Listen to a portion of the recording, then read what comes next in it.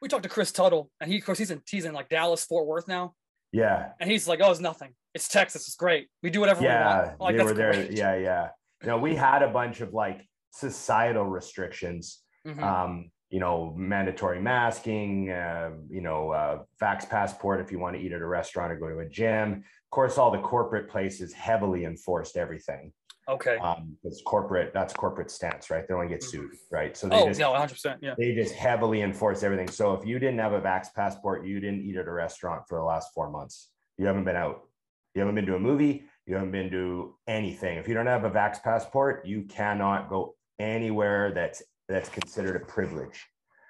Um, you can only get like like go to other so you can go to a hardware store and buy a hammer. You can go get groceries, but you can't go anywhere social. They uh, they made it huge, like it's a massive social penalty. So anything fun, water park, anything fun, you cannot do without a vax passport. Um, Mhm. Of course, like I said, that's very corporately enforced. So like our Mhm. gym didn't our gym didn't enforce it. We, Yeah. we just put signs up like at the front door. Must have vax passport, but we didn't fucking scan a single one, right? Right.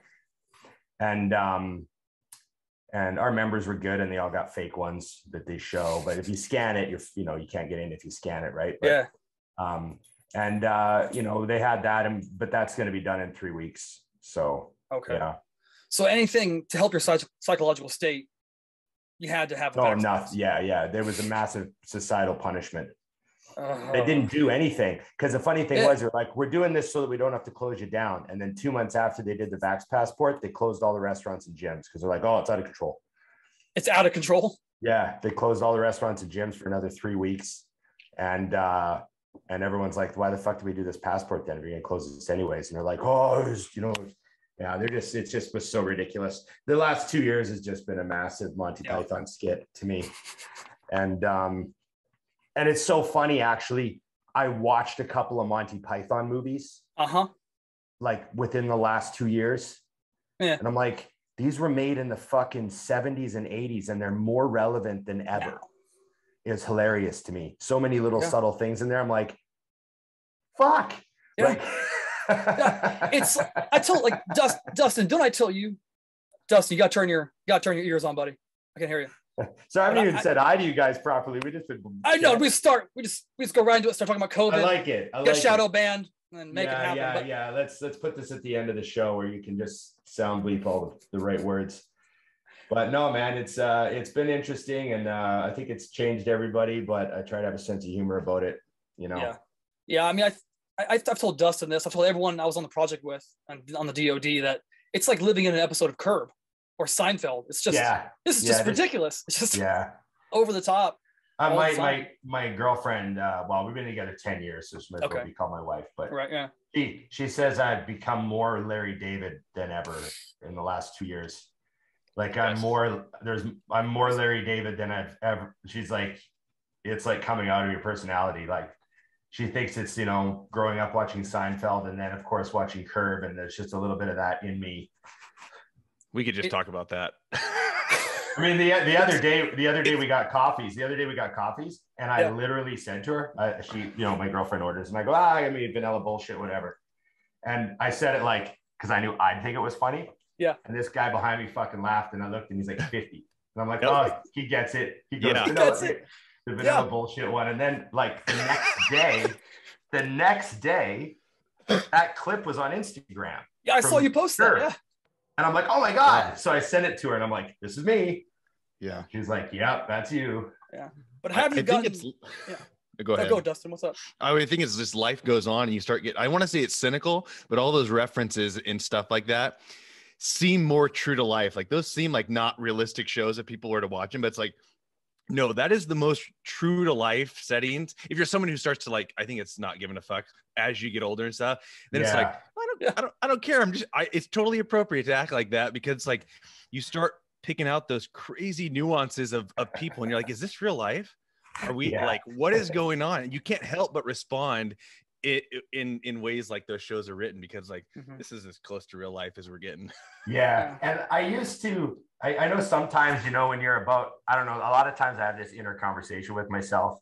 I don't know if this is normal at all, but I'll, I'll think of a reference like that one, vanilla bullshit. Yeah. And I'll think to myself for a split second, okay, is anyone else going to get this? And sometimes uh, you're in company Yep. where you're like, oh, this is this will be a joke. I'm delivering Yeah. Sure. right? And then there's other times where you're like, there's no one around who's going to get this, but I'm going to say it anyways. Look at myself. Yes. Yes. for me. Yeah, Some people don't do this though, but I know exactly what you're I doing. do. Like just for me to entertain myself and get myself through my day Yes. dealing with my problems. I'm going to tell this barista, yeah, vanilla bullshit, whatever, whatever you got. You know? Yep. And then I'm going to be like, I don't know, just walking back to my car, I'm going to be like, that was pretty funny. Yeah. Yeah, but And- you see, at the at the end of the day, though, if you, you tell a barista that and she hears that and she knows it, she gets a good laugh out of it. It elevates her. You never if she know. doesn't, You never know. she feels maybe like, oh, I can be creative today. right. I can do whatever I want. fun. And you have a story Yeah. for the rest of the day. If you deliver it right, it can still be like, Sure. it's not like you're like ruining their day or confusing Yeah. them, right? It's like, you know, you do it right and it's, you know, it just floats by as a comment, right? But I got lucky the other day because it's always so that's like when you win the lottery, when you drop it thinking no one's going to notice. yeah. And then there's a guy behind you chuckles bystander. and you're like, ah, fuck. It's like a little casino. It's a little uh, dopamine, like when you open your uh, Hit two Instagram and cherries. you got some Yeah. DMs. Yeah. Yeah. You know, a little Yeah. dose of uh, of the right, uh, you know, neurotransmitters make you feel like you entertain. Like I'm a stand-up comic. Yeah, that's it. You know, seconds. I should try amateur night. I'm really this close. Yeah. Yeah. What did you Yeah. did you enjoy the, the the last season of Curb? So I haven't finished it. Oh, okay. I'm halfway through. Oh, I mean, won't. Okay. Yeah, it, it so far, Okay. so far I'm enjoying it. They're all a lot older. Did you notice that? Yeah. Oh, there yeah. was a big gap. There's a time Just a little bit, just 15 years. There is a time gap on this last season. Yeah, yeah. So I noticed that for sure. Yeah. You know, Jeff Garlin lost a bunch more weight. Yep. So Though Ted Danson just seems to just maybe thin his hair, but he just doesn't change. right, Ted, Ted's Ted's the one spending a lot of money. He's pretty sharp. Ted- He's Ted's Rob probably- Lowen. Ted's probably TRT in. He's Oh. probably GH in. He's He's got the great skincare product, $300 creams he puts on and every then, night. and then Richard Lewis looks like Keith Richards. Oh, I yeah. didn't think about that. He's getting. He almost looks like a gremlin now. Funny. I mean, just, and he's got the hunchback like Mick Mars. yeah, So he's yeah. like, yeah, he's fucked up. Oh, but so great. All those Mel Brooks movies, he was it's so great. I'm, I'm glad you guys appreciate that. It's a good way to open the show. Great way. It's great. So now that we're actually moving See- on from, You, you see, I felt like I was I was like, oh my god, can I even go on this show? They're going to be talking about strength blocks and periodization, and I'm just going to be like, oh, We we can- train we- real hard, man. just go hard in the paint. I, Yeah. I all my questions related to BMX riding. It's, I got a couple on that. We we like to trick people. We like to get people on here and think we're professionals, and then uh, we have derail them as quickly as we can. That's fine. That's fine. Your Chris Tuttle episode is great, by the way. Oh, thank you. Thank you. Yeah. Hey, pure curiosity, has he changed his Instagram? Oh shit, I didn't notice. Okay. Like, did he lose it? Is he one of those guys that got I- hacked or something? I, I, oh, I hope not. He was probably telling the truth. That's Probably. what happened. That's what It's happens probably now. like, You- that you put out IFBB really pro, good, Chris Tuttle? thoughtful content, and then they re- they remove you. Hmm. like, can you, can you find his? I got Tuttle Nutrition, but that's Yeah. like him and Alexia, right? Mm-hmm. But his actual, actual, I got to contact him, see if I got, if he got hacked or I got to change over everything to like nutrition because I tagged Right. everything for him. Okay. Okay. Yeah, fucked up. A lot of people had Instagram problems lately, eh? Right. I mean, Hollingshead got hacked. Yeah. Sergio got hacked. Yeah, all those fucking Bitcoin scammer people. Yeah. Yeah. Yeah. It's a good thing I don't believe in that. Well, it's too bad people click on shit that they get sent. This is also true. Like, oh, check out this link, bro. And you're like, oh, Oh, yeah. like I do not open any No. links. Like, fuck. People send me links. I'm sorry, dude. Yeah, I guess I'm not in on this joke. y- it's yeah. You, you probably You didn't know. miss Right. out on it. Yeah, So, it So- might be a whole psyop, but Oh, it might. It might be a dark state thing, deep state. Might be. that one I, I I'm pretty certain on a lot of them. The Bitcoin is either. I mean, I, I could go this way with everything. It's either like it, it all makes sense or it doesn't. But Bitcoin could be the greatest psyop of all time. We don't know where it came from. The guy died. It's unhackable. It's perfect. Everyone needs to start turning into this. I was like, I it, uh, that mm, you read that in a sci, you see that in a movie or you read it in a book. You're like, oh, that's that's nonsense. Well, that's very- real life, people. Isn't it very interesting? Reality is stranger than fiction. I mean, Yeah. Tom Brady and Gisele Bündchen do it. Can't be wrong. It can't be. I, I mean, saying. So I, I I loved all the memes about him coming out of retirement because of Oh the my kids. gosh. Oh Yeah, well, you know those that's good. why. there was some gold there. There's some Yeah. real gold there. I mean, you spend Yeah. six weeks, and like, did you like Ron? How much do you do you watch like American? I mean, American. We're pretty much the same continent. We are on the same continent. But what do you watch football? Yeah, so Okay. I I'm not I'm not like an NFL channel guy. I'm not Yeah, yeah. subscribed. I but I I'm I follow the a lot of Instagram NFL accounts and you know I Mm-hmm. lo- I I'm the type of guy that um probably a terrible hated fan by hardcore fans, but I'm the type of guy that likes to scroll through the carousel to see all the best pla- passes of the week, the Oh yeah, best tackles of the week and Yeah. you know uh, there'll be a feature this Jerome Bettis feature came through the other day and it was like oh, 10 best plays ever and I was Jerome like, "Oh, Bettis. Oh, so I'm that type Oh. of fan, but I'm not like, uh, oh my god, the Cardinals traded so and so. What's what's going to happen to their secondary? Ah, fuck. Okay. I'll leave no, no, no. So now that we filtered, he's he's a normal. That's that's the right kind of fan, in my opinion. You go deeper. Okay. You go deeper than that, and and I, I, I get concerned. yeah, when one of his teammates, Rob Ninkovich, who was like a defensive end, he outside linebacker, he, he was on like a, a morning show and he said, Yeah, here's the situation. When I retired, my first week I'm putting dishes away, and my wife tells me at some point, No, the di- those dishes go in that cabinet. I'm like, Oh, okay, dear, whatever. And then the next day I'm folding a, a fitted sheet, like that's possible, folding it. She says, No, yes, what are you doing? You're, you're doing it wrong. You do it like this, blah, blah, blah, blah. And he said, At that moment, I'm coming back. I'm Yeah. unretiring.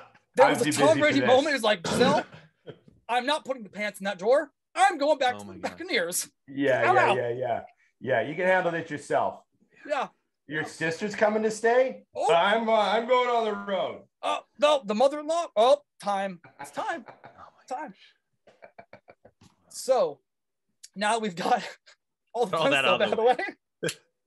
We'll swing So- back around to it. Right, right. So I'm Joe. This is Dustin. We we both met when we were on the DoD project, and we were both strength coaches for. I was at Fort Knox.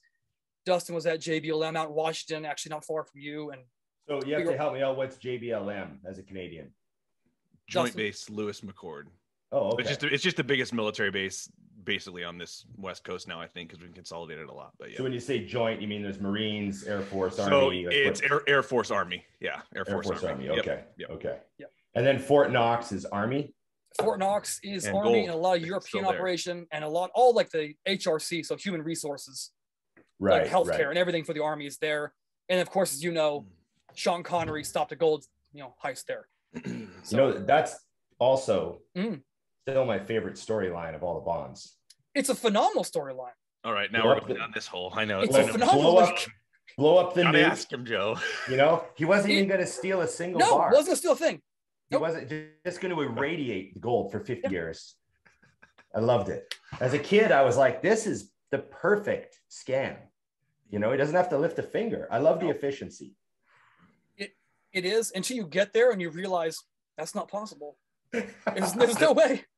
And And you Have you seen Fort Knox? You realize it's not even like that. once you've driven on it, you played golf literally 200 yards from the vault. You realize, oh, that's there's no way. There's no way anyone's getting in There's no way you're gonna you're gonna fly, you know, five hot chicks over it, distributing NXC nerve gas, knocking out the entire base, rolling in there, opening the door. I don't know how that's possible. right, and then right. you're gonna put a nuke in there. Like that's not happening. Yeah, even in the 60s, you're skeptical. No, no, even the 60s ain't gonna happen. I, 'Cause dis- I disagree. I think it could happen right now. I, well, there's the tank. All to division's no find out there. thereso nothing in there. There's no no. So Yeah, when I the was there. I was a strength coach for the only active element at Fort Knox. Everything else is just like inactive, like like brass, like general colonel level decision making people. So right. the tank division's gone now. Actually, so my last four months on the project, I was down at Fort Bliss, which is basically Juarez, and that's where the tank division is now. And I got to work with those guys, and that's a whole other, that's a whole other level. Now, If that Probably was there, that'd be smarter different. to have them there anyway. I mean, if if Well, next to Juarez, threaten us, it's gonna be the cartel that has their own little bit. armored Toyota trucks. So we should probably put the tanks closer to that. Right, right. You know Yeah. what I mean? The tank guys are a different breed too. Mhm. I know a little uh, bit of. I know they're like, well, they love to train too, don't they? Half of them do. Half of them do. Okay. Because here's here's a theory on that. this is what they say. I'm either gonna kill someone with a with a push of a button like a video game from you know two, three clicks out, or I'm gonna die because I'm in a metal box of death. I'm in Right. a coffin with an escape hatch. Right. That's that's their mentality. It's like, why am I? Why do I need to bench 300 pounds, coach? Tell me. Like it's because it's cool. to make everyone and you eventually get them in that small space. If anything, you just have to be able to run fast. If you have, you Yeah. actually have to get out of your tank. Yeah, it's a hand-to-hand combat thing because you get out, you, you're Yeah. there's probably someone within you know striking distance of you.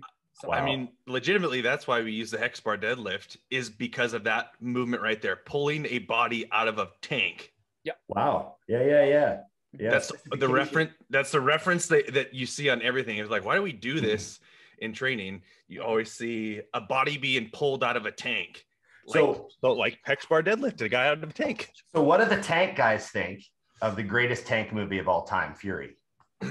so they all got haircuts like Brad Pitt, so Dude, that you- tells you enough. do you? Okay, so Dustin, d- did you have any tank people at Do JBL? Uh, they hate it? Strykers, we have Stryker units, so Okay, it's Strykers, A, it's okay. a, yeah, it's a yeah, pull off the treads and put on giant mud tires and put them Oh, up okay. to like 80, 80. I don't know how fast they go. They go fast. Yeah. So Fuck. everyone I worked with that was in that tank division with Fury, it was either an extreme love or an extreme hate, much akin to the film Hurt Locker, despite Right. the multiple Academy Award winning over James Cameron by his ex-wife. Yeah. They love Those it or were hate it. Marines, right? Hurt Locker was Marines. Yes, like Yeah. bomb disposal. Yeah. And um, so they'll watch it, and when they actually watch it, like all the movements they're doing, I've been told that for that age of tank, very well, I guess you call it choreographing. yeah. you, the tank battles, which I enjoy. I like Hunt for Red October. That's one of my favorite movies. Like those like submarine game. Yeah. So Yeah. watching what actually happens in a tank was pretty cool. They didn't care for the ending Right. Yeah, because in, in reality, you just set a bunch of booby traps, get 100 meters out, watch the booby traps go off, open fire, take as many as you can, and then just Yeah. start like hopping back 50 to 100 meters, taking more out as you possibly can. So the, the ending was kind of confusing for majority of people, but I, I don't know. I think it was a little over the top for a lot of people. right. Right. It was awesome though. I, I enjoyed it. I As a person who knows nothing about tanks, I was convinced. Right. Yeah. Yeah. right? I mean, that's the that- point. or c- well, can you watch that late at night before you go to bed? Is that a before bed movie for you? Because I can't watch that before I go to bed, or I just I can't sleep. Yeah, you know, I don't know. I'm a good sleeper. I Oh. watch a yeah, I'm a good sleeper. I, I watch uh, pretty much everything I watch is late at night. So Okay. yeah, unless I'm on a plane. Oh, and and so that does yeah, that does happen. So I gotta I gotta lead in with this with so outside of if you were looking at the greatest progressive overload gurus of all time, like I don't know how you'd rank them. I know you and Dante Trudel are really tight. You know, Arthur Jones was like, you know, the I guess you could say the beginner of it, if you will. right. The idea sort of, yeah. Yeah. And now after that, in my mind, you're definitely one of the high disciples. Well, I, I appreciate that. I, I, I guess it just sort of, you know, I've been training pretty much the same style my whole life, like 30 years. I think progressive overload, essentially, the concept of it, it's an absolutely necessary and it's a natural, naturally occurring concept. Like it's all about efficiency. What's the minimum amount of work you have to do to create the adaptation response, Mhm. the growth of the muscle cell, the increase of the size of the muscle cell. And also, too, progressive overload. The funny thing about it is you're training for muscle mass through strength increase. You're not Right. training for strength. Like I know you essentially are, you're writing your number in your notebook, but that's not the end goal. The end goal is to get the muscle to grow because it's forced to grow because its cross cross sectional area cannot generate any more power. It has to adapt and get bigger, and the cross sectional area increases eventually. You know, and um, so that's the goal. But yet you're training for strength. It's so it's sort of like and it's an interesting thing. You know, you're trying to get the side effect is essentially what you're doing Yeah. and um and i think it just comes from efficiency you know like you take a, a hundred thousand people and you put them on you know four sets of eight four exercises per body part you know the typical Yep. like generic flex magazine workout how many good bodybuilders do you get out of if you put 100,000 people on that workout and you just let them do it for 10 years, the typical average Joe Blow volume stuff that most people do, how many good bodybuilders do you get? 20. You, you take, yeah, 20, right? Yeah. You take 100,000 people, you put them all on progressive resistance where they're tracking and logging everything, not worried mm-hmm. about volume, worried about performance in the gym and execution of every rep and all that, the progressive overload principles and you let them do that for 10 years, how many good bodybuilders do you get? Is it more than 20? Somewhere. Right? It still might only be 30, But it's But- more. But that just shows you how hard bodybuilding is. That's it. Mhm. Well, yeah. And when you say that, I'm thinking like, how many Phil Heaths come out of that hundred thousand? right. So it's just for people that are thinking about this, like you're not talking, you know, somebody that One- we're not talking yeah. average. How many? How many of the professionals do you get out of a hundred thousand? yeah, yeah. You know, you it's it's like putting on extraordinary amounts of muscle mass is really fucking hard. We we talk as if it's something that we can just do. Yeah. And it's not. Like some people can't do it. Like they can, but you know what I mean. They Yeah. just Yeah. can't accumulate any sort of um, enough muscle tissue to be a bodybuilder. Right. S- and, I mean, everyone can gain an enormous amount of muscle. I think everyone can double the amount of muscle on their body. I'd be willing to. I'd be willing to uh, to go with that because I've You had know. some what I would call as a hard gainer. You know, that are like naturally their frame sits at like as a male even like around 100 pounds Right. 120 somewhere in that range yeah i i think well i mean yeah you can probably be easily double that or at least Yeah, 300% stronger i think strength's easier than muscle size Yes. Yes. Um, so wh- when I say double the amount of muscle, I, I guess your lean body mass would be a bit much because that would include more. I'm just thinking like, you know, think of how big the average 150 pound dude's bicep is. Yeah. I mean, he can easily double the size of his Yeah. bicep, Yeah. yes right? The That's a good actual muscle. Like Yep. if you just put it on a scale like a chicken breast, he could easily, in like 10 years, he could easily double it. Like if he uh, puts does his thing. But that's still not enough for him to even look impressive. Most people, if they double their muscle mass, they just look like they work out now. Right. You know, like yeah. bubbly bodybuilders. It's not something you just make with training. There's like so many other things that have to be in place. But I still think that progressive overload will find more of them than just generic bro training, you know, typical volume stuff. Mhm. Um, I th- also too maybe it's because when you train with progressive overload, it leads you down other paths. Yes. Looking for efficiency and maximization of intensity and all these concepts that then lead to like better like you know what i mean? It all Yes. adds up. It's not like it's just the solution.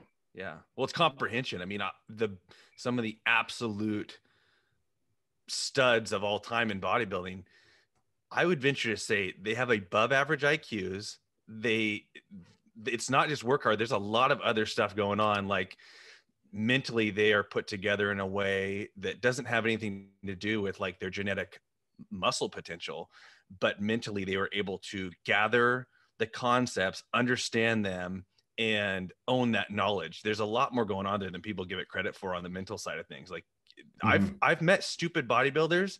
Those are the ones that only follow bro training and have really great genetics and never learned a thing over 10 years. Those people exist for sure but the the greats i think what you would sort out in that 100000 kind of example that you give that 10 that you get out of that i would venture to say they're also above average like like just intelligence wise in a lot of ways. In a lot of ways yeah, Yeah. emotionally intelligent can handle stress management. Like it's not there's a lot going on there. There's a lot going on there. There's um there's i mean people don't talk enough about the mental stuff. I mean everyone wants to follow like well what what training? Hey can you help me with my training program? Can you help me with my training program? I'm like uh, what's the point? I don't i've seen you train. Mhm. like i see you kind of casually training you know? Um i mean yeah you got to have fun in the gym of course. I say hi to people. I Mhm. hey man good to see you man. How's it? it's good to see you good to see you off your crutches you know? Like i say Yeah, stuff yeah. to people while i'm walking around the gym. I own the gym. I mean i fucking you know when i'm retired. Yeah. but but but yeah for the most part like your hat's not low enough. Your headphones are out too often. I don't see you like seriously contemplating life before your big sets you know like there should be a moment where where you have to like, you know, get ready for this set. And sometimes you see like people like unracking bars while they're laughing. N- Yeah. You know, you already know it's not going to yeah, work. but, yeah, it'd be a good weekend, you know. Yeah. But like, I could never No. try. I just, I, Yeah. that's if you want to look like the guys you think you want to look like, you, you have to, you have to also look at like what's going on in their head. I know it might look like they're, you know, it might look like they're just moving around the gym like other people, but what's really going on? The intent, the Mhm. focus, all that stuff. It's really important, you know. Mhm. Yeah. You know, do you come to the gym with butterflies in your stomach on leg day because you're doing hack squats? And you know, like, Yes. you know, you know that, you know, Yes, yes, two yes. workouts ago you had eight reps on this hack squat and and it, you're, you know, you really, really got to get nine this week. And you've been thinking about it for, you know, 10 days since you're and you really got to do it. And yeah, and you, you're driving to the gym thinking about nine reps, nine reps, nine reps. And first thing that you say to your training partner when you get to the gym is fuck. Fucking I, let's do these hacks. You know, like and, and it's Yeah. if you're not like that, I don't know. I don't know if you're ever gonna like. Uh, you might win shows, you might win local shows, you might be a good bodybuilder, but I'm just saying most people, they're just there's because there's a bunch of guys out there that were like me, and you're not gonna beat them. Yep. And I'm not saying like I was a great bodybuilder, I was a mediocre bodybuilder. It took me 20 years to turn pro. But my point is, I was going to the gym every single day, especially during prep, thinking I'm going to take every fucking placing away from every fucking person I possibly can. Like, I don't like they might put me fourth, but someone's losing fourth and they're going home with fifth because of me. Yeah. Mhm. You know what I mean? Like, that was the Yeah. mentality. It was just like take out as many as I possibly could, fight for every inch. You know, the, the, the, the speech at the end of every given Sunday, Mhm. any given Sunday, the, the Oh inch- yeah. Yeah.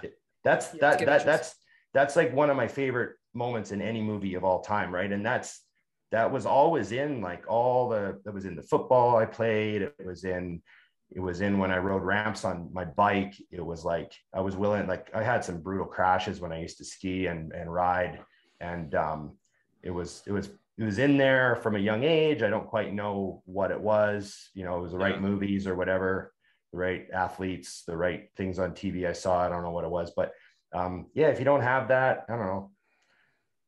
If you know, I mean, Jay Cutler had it. We know Oh that. yeah, and he could do the volume too.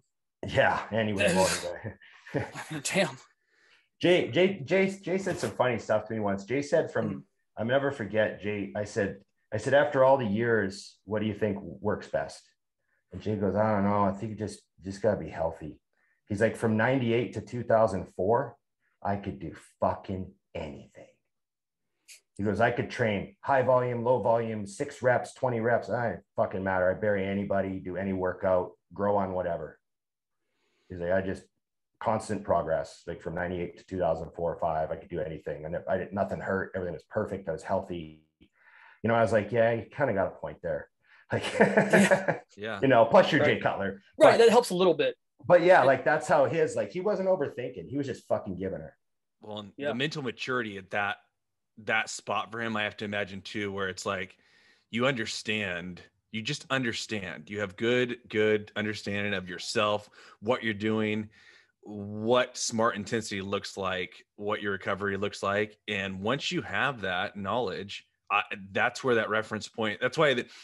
That's that's a much better way to put it than you know how Arnold used to say I could go into the gym and do one exercise and get more results. I don't doubt that. I don't think it's a cocky thing to say at all. But I think that what Jay's saying is a lot more comprehensive, Yeah. basically. Mhm. Yeah. you know and of course a guy like that you know how you um like the other day i saw a video of a guy he was on a skateboard with a fucking blindfold Okay. and he goes off like a five stair drop and does a kick flip and lands it Mhm. That's with a it. blind with a blind That's it. Yeah. Yeah.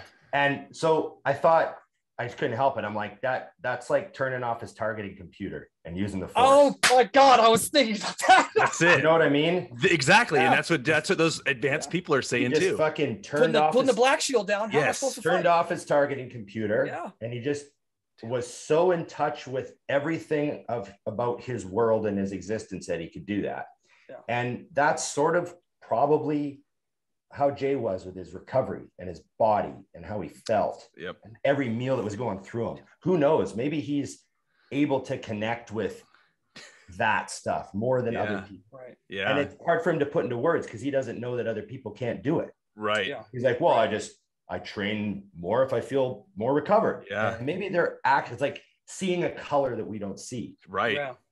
And you don't know if this is going on in some of these athletes. I mean, like Michael Jordan, like I thought the other, I was talking to someone, I- I saw a podcast about how we perceive time.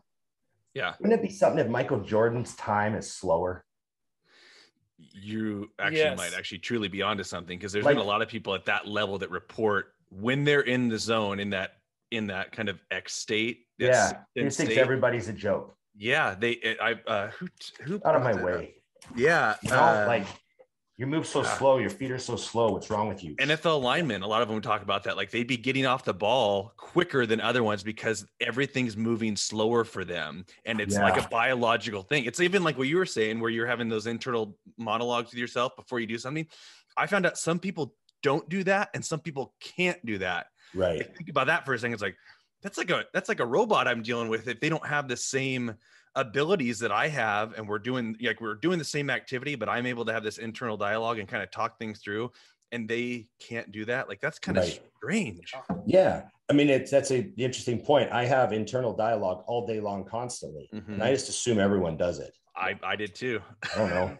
you know, but but yeah, it just makes me think like, you know, maybe there, I mean, there's level, but they say there's levels to this shit, right? Yeah. Yeah, I mean, who knows how, Yeah. how much of a spectrum we're on a spectrum of everything else, you know, Yeah. some some people are brilliant and some people are stupid. And maybe that spectrum, you know, it continues to all of those other, you know, difficult to, you know, comprehend sort of things. yeah, no, no doubt. But that's yeah, no, that's a good.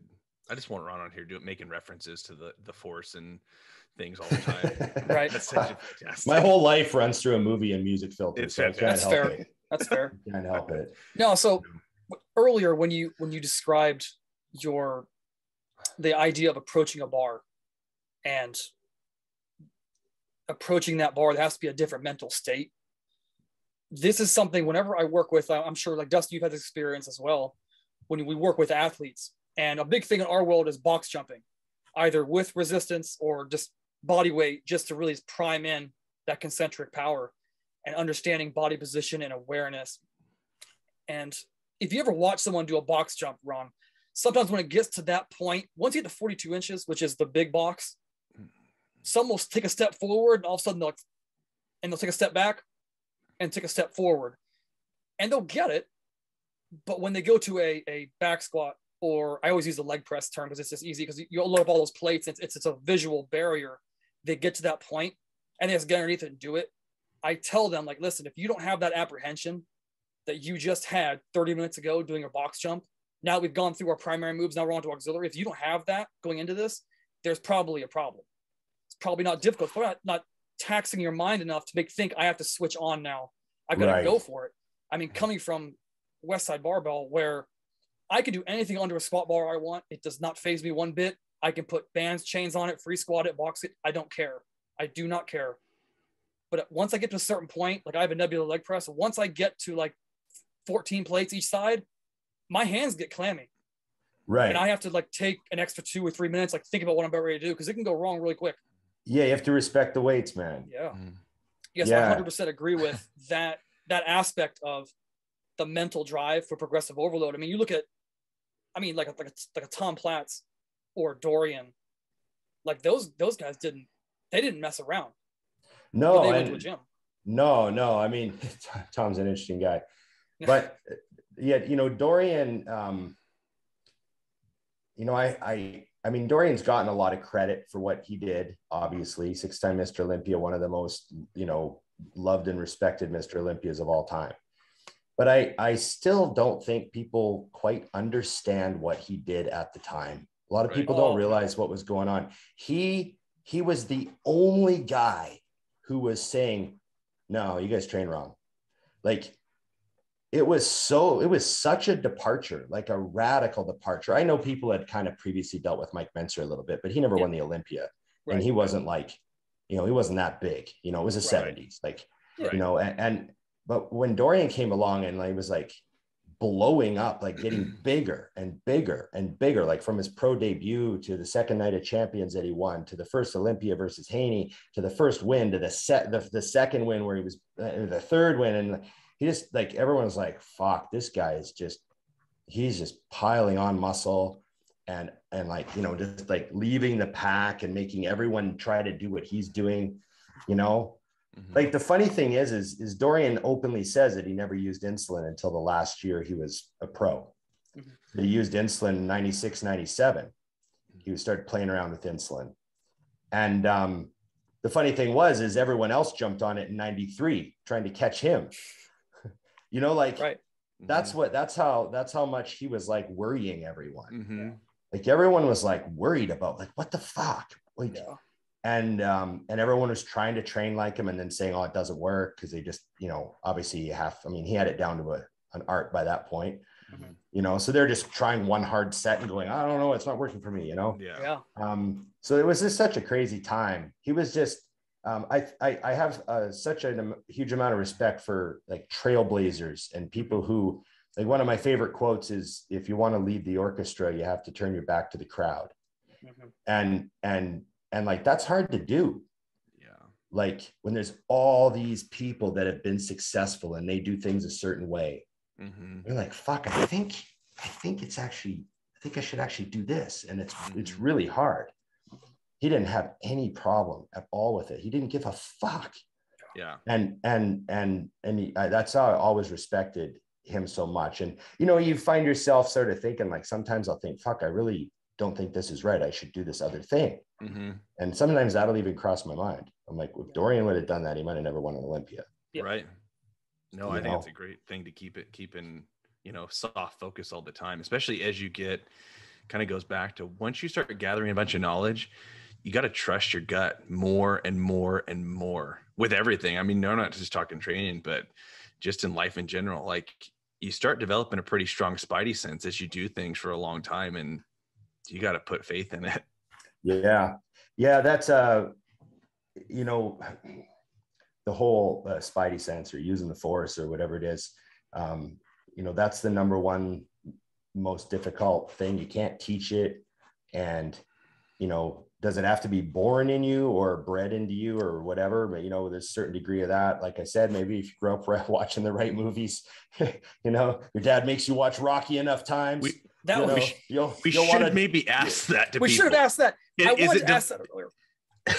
yeah, I mean, did we all watch Star Wars and we're like, this is a possible thing? The thought's been planted because I mean, that's where my mind goes now. That Yeah. you're, I never, ever, that's amazing. I've never thought of this until you're saying it, but yeah, that those weird concepts that get planted from you know sci-fi and superhero type stuff, and it's like, I don't know. I remember being a kid really thinking that like, I've told Joe this. I think I talked about this on the podcast one time. Is uh, I was ignorant enough to think that those some of those things were possible when I was like, because I, was interested in like training when I was 10 years old Mhm.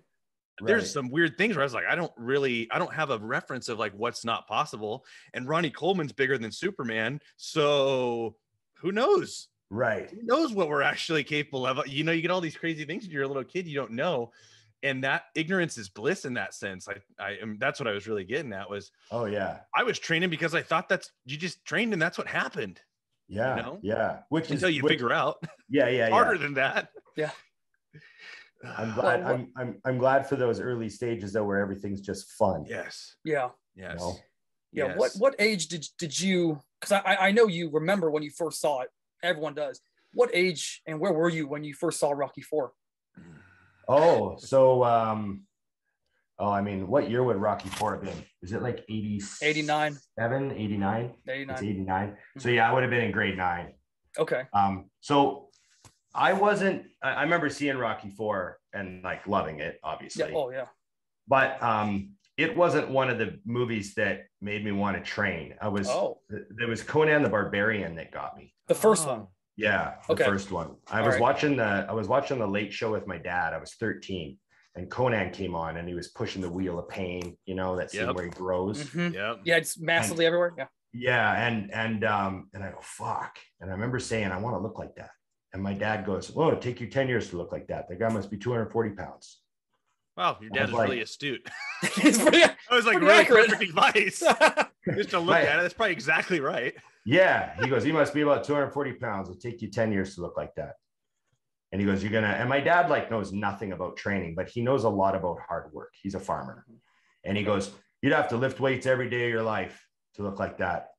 That's no joke. Like, like No, my dad, bad advice. my dad always spoke with respect about anything anyone else did. Like he never said, "Oh, it's stupid to look like that." Like you know, like some some Sure, people are. Yeah, yeah, yeah. Like down. My dad, yeah, my dad, my dad looked at that, and all my dad saw was hard work. He goes, "Yeah, you ever see a coal miner? They have big forearms, Yeah. big muscular hands, you know, blah blah blah." He goes, "You know, your your body, your body will look like what you do." And I was like, Yeah. "Oh." And I remember, like, my dad knew nothing about training, but he knew that. Mhm. And um, and and so I remember thinking there were some weights in the basement, and and uh, and it was funny. I I I had the awareness that there were basic exercises that worked your all your muscle groups. Like I remember, I think there was, you know, those old Weider posters that have like the muscles colored Yep. for whatever. Mhm. Yep. No, they got the, Yeah. the the and he's like quite hyper muscular, the, the Yeah. cartoon man that's working out, like the lats are all Yeah, striated. and- plumed out. Yeah. yeah, like like like way unrealistic. But back then you're just like, oh, that's a good way to show muscles, right? Yeah. Nowadays they try to tone them down, you know, not to offend anybody. Yeah. But back then they made this crazy, ridiculous bodybuilder who's like moving the weights. And I remember just thinking that I'd seen those somewhere. Like, I don't know. I don't know what I, but I remember bench press, bent row, shoulder press, squat. That works everything, right? So I went down, there was a barbell and I did some bench press, some bent over rows, some shoulder press. I just stood and did them. I cleaned them up and said, I, I don't know why I understood to do that. And uh, then I would put it on my back and just try to do sets of 20. And then I would like walk around and then do another couple sets of 20. I didn't have any clue what I was doing. I don't remember reading anything anywhere. I just remember thinking this is you, this is how you lift weights. You just go lift weights and work your body. Yeah. I did that in my basement. And I remember thinking, oh, Monday, Wednesday, Friday would be good. Like, I don't know again where I got that from. And I just did that three times a week for like a couple of months. And um, and I mean, we didn't have much weight. So I don't know, I had probably only 75 pounds of weights or something. And then when I turned 14, I joined the gym because you had to be 14 where I lived. So I, I turned 14 and joined the gym, and then that was it. Hmm, So, Okay. but yeah, that was my my my origin. And and also I'd say um I remember I remember I think Rambo was probably more of an influence than Rocky for me as far as Stallone goes. Okay. Yeah, Rambo 2. First, Rambo 2, Rambo- oh, yeah, he was- or Rambo First Blood Part 2, you know. Yeah, he was nasty the, in that. The Yeah. Soviet chopper. Oh, it has that the oh the bicep breaking. Oh. yeah, shoots down the Apache or whatever they're flying.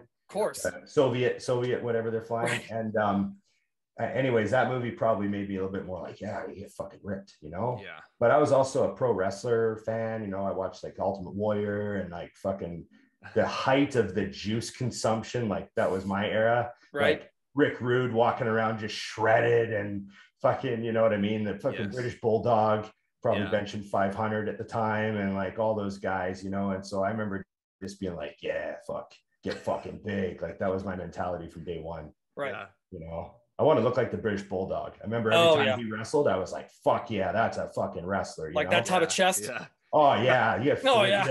He, he bounced the guys off the rope and give him the big jumping power slam. Boom! And I was like, "Ah, that's a finisher." Yeah, that's a finisher.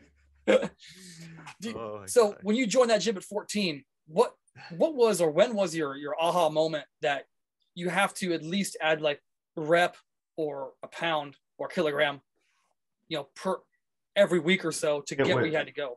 Yeah, well, I mean, the um, I, I think from the very, very first second, the intention was to make massive progress. Mhm. Like I, I remember like the first day I went to that gym. I went with a couple of my buddies from school. I was in grade nine. It was like near the end of grade nine, and I was 14. And I went to that gym, and I was like, "Oh, it's a real gym." And I'd never been to a real gym. Like it was like I'd been to Taekwondo. I didn't. I've done four. I did four years of martial arts by that point. So I'd been around men working out Yeah, yeah. you know? And so I was like, okay, it's a gym with weights, just a different type of gym, I guess. Yeah. And and um, I remember there was this guy named Norm who was like a local competitor. But I mean, at the time, he was like the biggest guy in the gym. He's like, that's the best bodybuilder in the gym, right? Mhm. And I remember he was on the bike and he had like a lumberjack shirt cut off at the arm and it was like, you know, the threads hanging. And Oh yeah. he had his like ball cap on and he was on the bike riding in his big baggy pants, you know. And I remember I just like walked by to look at him. I was like, go look at this guy. Because they're like, oh yeah, it's Norm over there, you know. And I like walked by to look. And I remember his forearms were just covered in veins. And his face was like, because he was Yeah, getting ready sunk for a show. death face. Yeah. And I was like, holy fuck, that guy's like freaky, you know. Yeah. And I remember just being like blown away. I was like, that's a bodybuilder. Yeah. You know, it's such an impact on a on a kid Yeah. to to see your first bodybuilder. And there was another dude in the gym named Jason, and he was uh, doing bent over rows. And I remember like I had been doing bent over rows, right? But he was doing them with like 225. And I was like, holy fuck. Yeah. And I remember his arms were like his forearms were hanging out too, and they were all veiny and like thick, you know, thick, Yeah. big muscular forearms. And I remember he also had crazy calves. He was one of those guys. Like I remember as a kid Sure. just thinking like, oh my god, I'd eat calves like that. And he was doing bent over rows, and I'll never forget seeing that and thinking like, oh, that's he's got like a lot of muscle on him, you know. So I was I was lucky, and there was some like uh some like fat dad drug-free powerlifter guys at the gym Oh gosh. Mhm. you know, which Yep, is because I like know exactly what you're talking about. right, Because right, there's a mentality that goes with those guys too. Yep. right, and and and so there was a group of them at the gym, and this is back in the early '90s. So drug-free powerlifting was very like huge. Like Mhm. they were all anti-drug, they were all like you know all drug tested powerlifting. Um, but they were still really cool. Like I remember, I didn't know about drugs yet, so it didn't matter. But I'm just referencing because I know you guys know all these genres of powerlifters, right? Yeah. Um, but uh, but they were like those types of guys. They had meets, a lot of meets. They're always going to a meet, but they would squat five plates, and I was like, holy fuck! And they had chalk on their back and shit. And I was like, Mhm. Jesus, those guys are strong. So like the, you know, I didn't start at Planet Fitness. Right. You know, I started in like a blue collar farm oil town of thirty thousand people. Where there was nothing to fucking do That's- and all types of people were at the gym from cops to lawyers to you know fucking local criminals and Yeah. uh, there was some like heavyweight being thrown around and people yelling and stuff and clouds of chalk and you know it was like you know i guess that gym probably had a huge influence on you know how it all turned out yeah.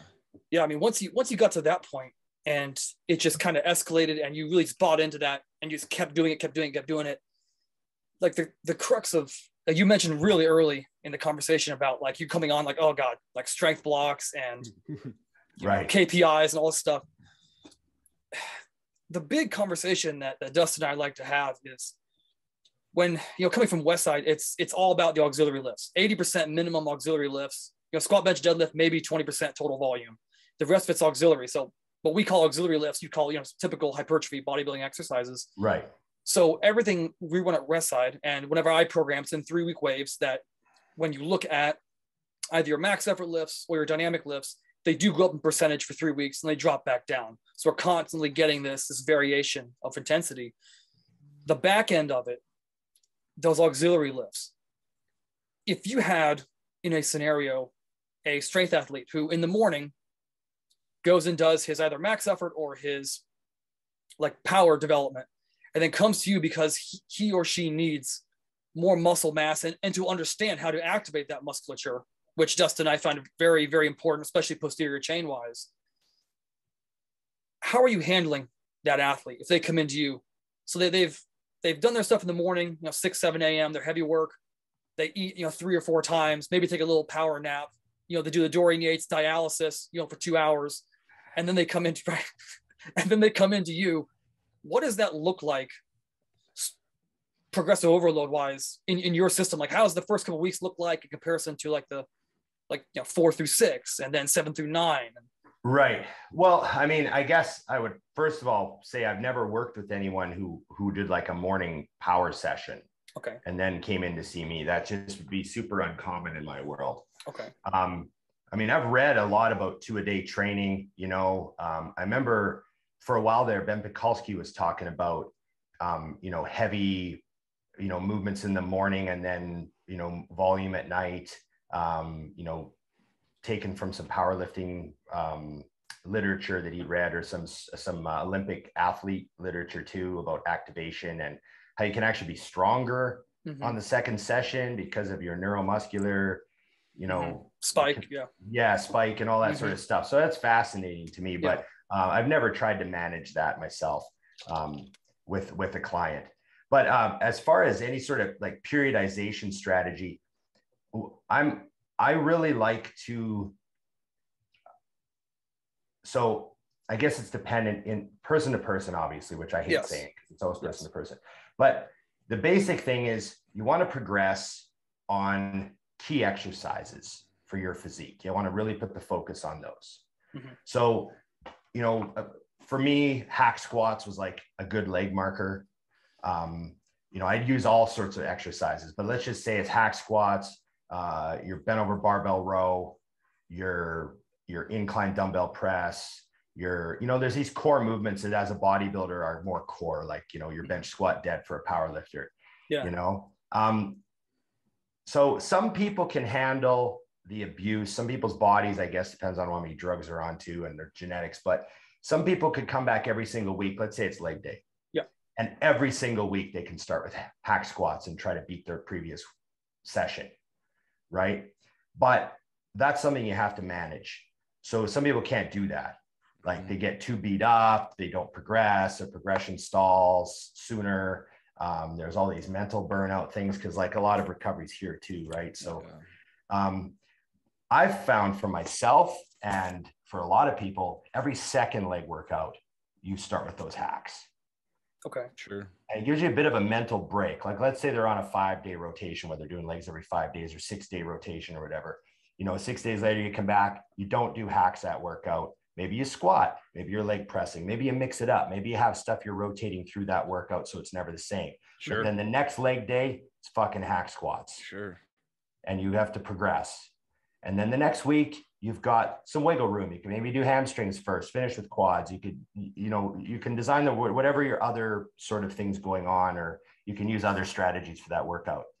Um, maybe you try to try to progress on the leg press again, you know, 20 reps instead of 18 or whatever. Um, but then that next week you're coming back attacks again, and you've always got that date with a hack squat machine that you have to progress on. And um, and there is going to come a time, maybe maybe it's the end of your your eight week blast or or whatever you're doing where progression is going to stall out. Maybe you're halfway, maybe a guy's doing a 15 week cycle and mm-hmm. week seven, eight, nine, he makes no progress on the hack. Sure. Well, maybe you switch the hack out now, drop it out. Yeah. You can move it, move it to a second exercise on the other leg day. You can use it differently, you know, approach it mentally differently, take a break from it.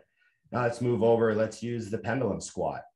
And of course, the first three weeks on the pendulum, you're going to make progress because oh, yeah. you're you're using it as your opening exercise mm-hmm. and it's all fresh and you're mentally attacking it and sometimes you even get like a slingshot effect where you wind up you know like maybe your previous best on the pendulum ever was four plates for eight and all of a sudden you're getting four plates for 12 on your opener like third week yeah. into doing pendulum you're like fuck i'm really on a roll here and and there's that sort of uh, you know strategy i guess mm-hmm. if you want to call it that i never yeah. considered myself a no. military strategist but uh but you know uh you know there's there's there's that sort of stuff of you know mental burnout's a big part of it getting frustrated um, you do start to eventually if you progress on an exercise enough times in a like a like a 20 week push or like an off season cycle or whatever yeah, the guy's sure. doing you will develop aches and pains like yeah sure and so you got to cycle exercises out before that happens. Try to stay ahead of it. I was terrible of do, doing that. Mm-hmm. That was my I, next question. It's terrible. So like, there's so many things that I was really, really bad at, and it all boiled down to looking back. It's all just I was super ridiculously over the top stubborn. Sure. And thought it was a virtue. Yeah. Mm-hmm. Yeah. But it was probably I am mentally intact and can handle it. Yeah. Because I stumbled upon that just in an organic way, same way, not necessarily for my clients, but for myself, because I was like, I'm getting strong enough and can go to deep enough water as far as like punishing myself that it's actually taking that long to recover, or you can actually put yourself in a hole. Now, I kind of want to go back to that too. I'm going to remember as far as what is my maximal tolerable load before I end up in the hospital, and what is how much do I need to Yeah. stimulate progress. right, right, That's right. a that's a weird gray area that I even the most professionals that you can talk to, that is a debatable, a highly debatable uh, subject. Mhm. But Now that that that that training schedule that you like, it like five six day rotation, where you have one workout, which is it is a set workout, whether it's legs, chest, whatever you're gonna put it, and then it's always like the next one, where it's, it's fluid. It's like have Or fun, learn yourself, write it down. Well, yeah, that well, that's how I approach it sometimes. Um, with other people, it might be a secondary, more structured workout. Okay. Um, but there is like wiggle room there, you know? Yeah. Plus, like also too, to be honest, I fucking hate programs. Um, I get it. I Yeah. understand why we have them, but you know, like a lot of my clients train at five o'clock at a busy gym. Yeah. A lot of my clients Yeah. have three Yeah. kids and a wife at home, and they're in a fucking hurry, and they can't wait five minutes for the hammer incline. So they're doing Sure. something Yep. else. Yep. sure, absolutely. And- that's the reality. Yeah. And the, Oh, yeah. the dumb the dumbbell area is really busy, so I'm grabbing cables. I don't know. Whatever. Yep. What do you want me to do? Yep. And I'm I'm so there, there's a lot of that. Like I understand, you know, I've read some stuff like the perfect literature has us, you know, you know, training, you know, 30 minutes three times a day for optimal hypertrophy, protein maximization, you know, blah blah blah. And I'm just like, well, who has time for this? Like, for that. like you know Right. I, i've i've seen people they're like oh i got my new program from my coach but it's like incredibly difficult for me i, I i'm having would you look at it please and i've made the mistake of being like yeah sure send it. Yeah, yeah. Never works out. Never, never ends well. and then they send you like this 10 page excel spreadsheet Oh, Excel. with with or whatever the fuck they're on that's got like six workouts for each body part all rotated through this this Yeah. this this thing that isn't like ultra specified like here's a dude that's trying to put on 50 pounds of muscle so he can look like a bodybuilder one day and they've got him training back every four days because it's a medium weak point oh. legs every three days because it's more of a weak point. Arms actually measure big enough for the ratio to his calves and neck so we don't need to train that much. Like that sort of mentality Right. it's just fucking ridiculous Yeah. it's it's and it, it it's just this incredible wave of online coaches who want to brand themselves with gimmicky strategies to try to get 200 clients that they can just punch out this stuff to oh it's been six weeks we got to change your program no you don't Yeah. you don't need to change their fucking program Yeah.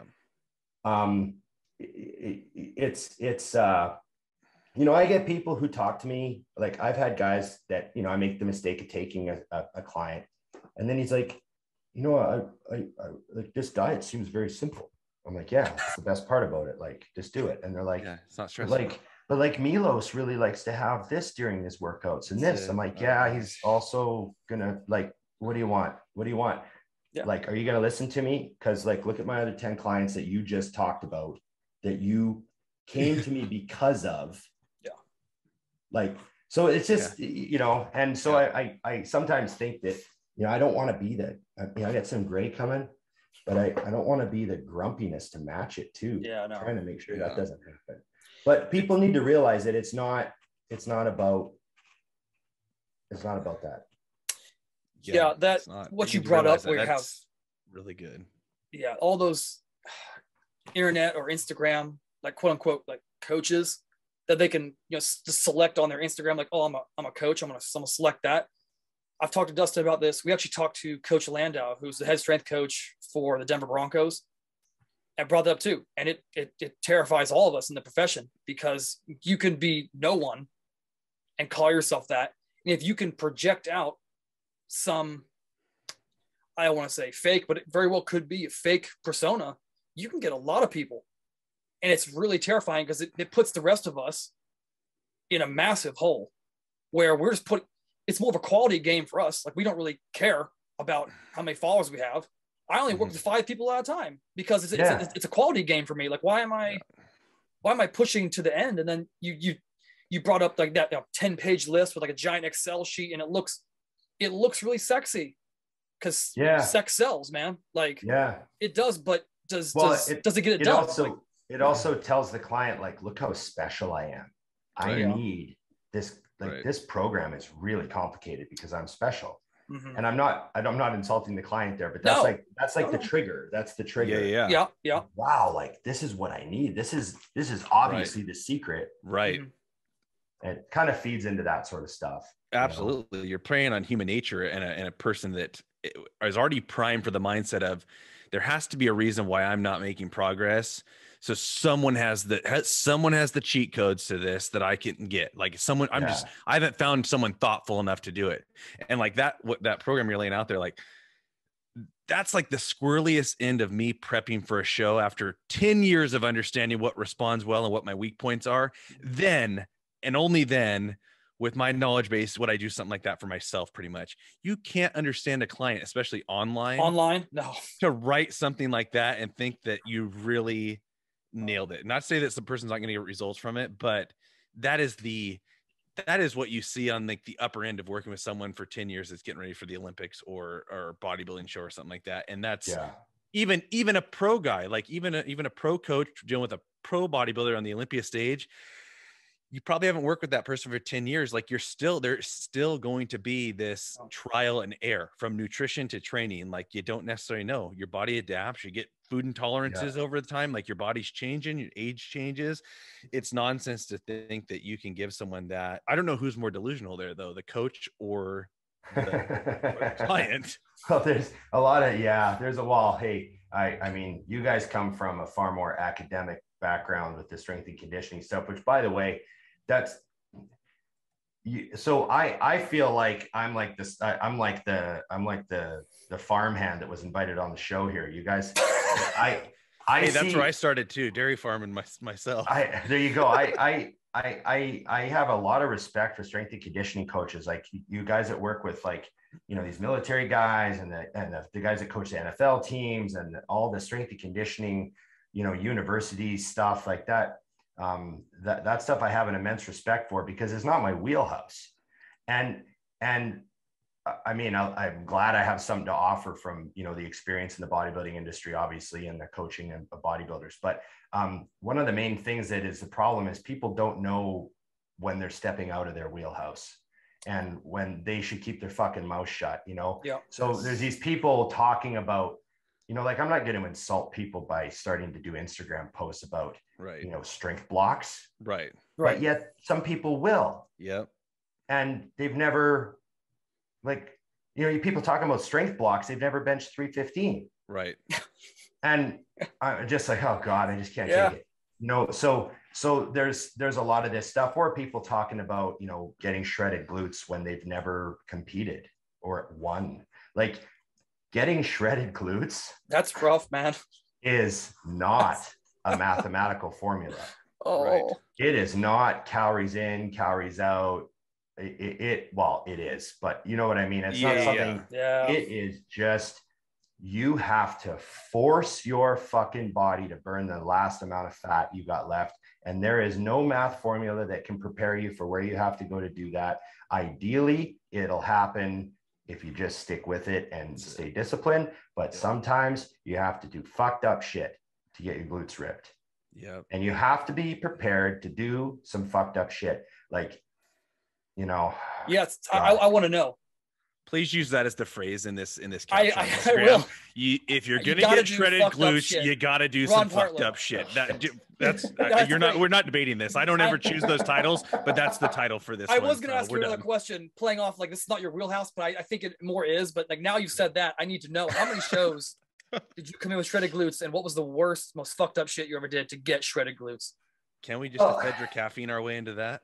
Yeah, probably. well that certainly helps Yeah. I so i'll tell you like um well i i was in really i i'm i i somehow and i take it as a massive compliment i somehow have people say you know you're known for your conditioning. And i'm like well that's a huge compliment because i was always self-conscious that i wasn't good enough in every possible way because us bodybuilders are just so terrible at that. Yeah. and i never really enjoyed my physique during the show Mhm. I was always super critical. Well, how can I hide my one bicep, or how can I make this?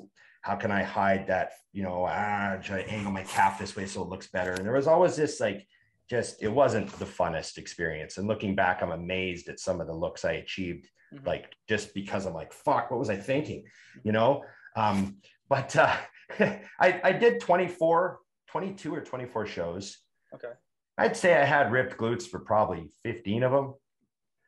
And the other ones were like just missed, like there was some Yeah. lines, but like, you know, and I had a good edge and they looked good from the side, but maybe there was a little bit in the back shots, you know. Mhm. It was hard. Um, but but I mean, zero carbs for you know days and days on end, the Mhm. odd time. I learned from Aceto this like your body. So Aceto has a line, your body can handle anything for a certain amount of time. Mhm.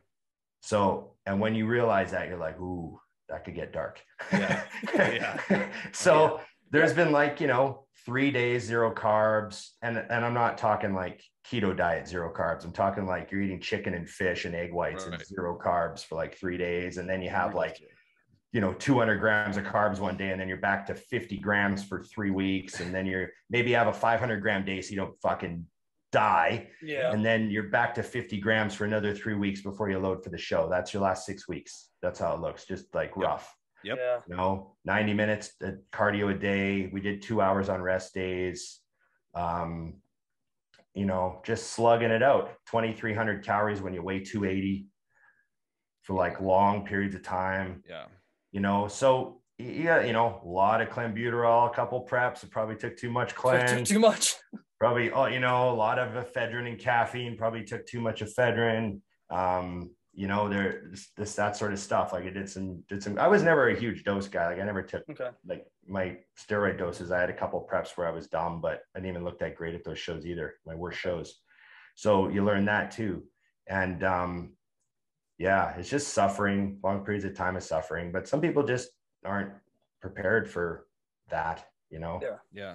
But the Yeah. fucked up problem is I enjoyed the process of like prepping. like I never, I never like I leapt into all my preps. I never like didn't want to do a show, you know. So Yeah. I think it's that stoic mentality. If you have it and that's wired in you and that's the cloth that you're, you're cut from, when all of a sudden you're arbitrarily creating this this hardship for yourself, yeah, some guys get off on it, but it helps you focus. Like there's all this other tough stuff. enough. That I mean, I know, I know it's weird, but like I, you don't know that is going to kick in until you start doing it.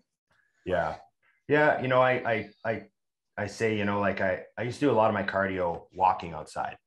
Mhm. right? I just a lot of preps. I'd have like a park by my house or whatever, and I just fucking you know get up in the morning, go Yeah. for a forty minute walk, a couple laps around the park, um, or at night, you know, two in the morning, getting home from work, still got thirty minutes to do, and I I remember sitting on the bench by my front door, and like listening to music for like thirty minutes before I could get out the front door. Yeah.